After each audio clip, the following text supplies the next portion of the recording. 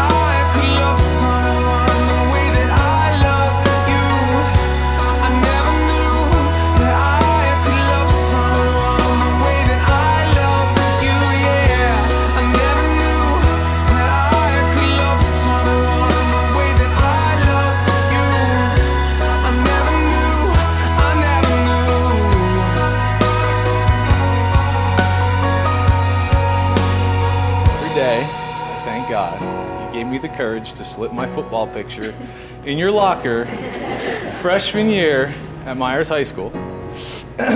Little did I know you'd actually it would work and you'd give me a chance, let alone 15 years later, we'd be hand in hand exchanging our vows in front of the ones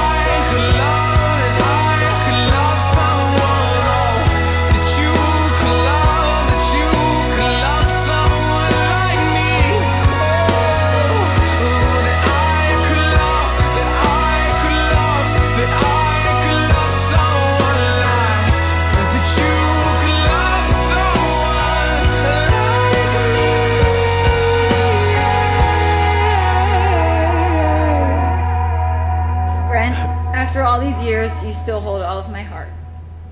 I may be unsure and indecisive about most things in life, but I'm certain that what we have is forever, and that I will only continue to love you more and more each and every day. You are my person, my love and my life, today and always.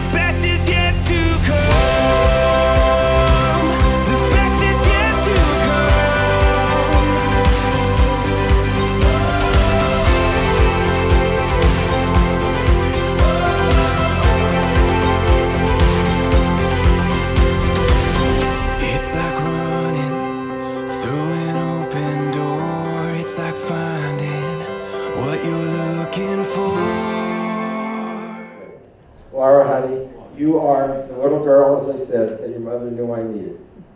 Every guy needs a daughter who he thinks about every day. Is she two or 22? Don't cry. You get the story. Okay. And because of that, Brent, I'm going to give you the same brush that I used on Laura's hair. Many years ago. And it's, it's not because I no longer have use for it.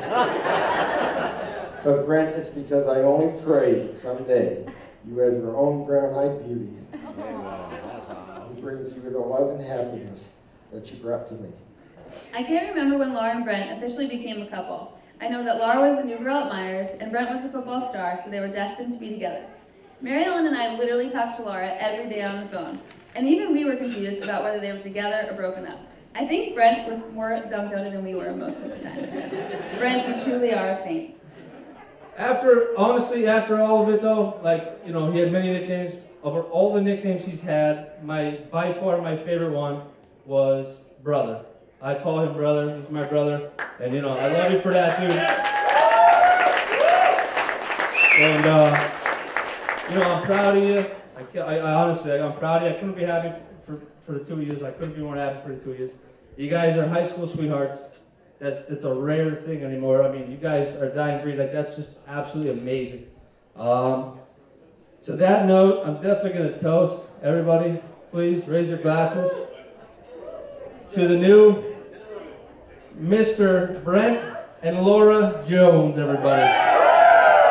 We got a beautiful story.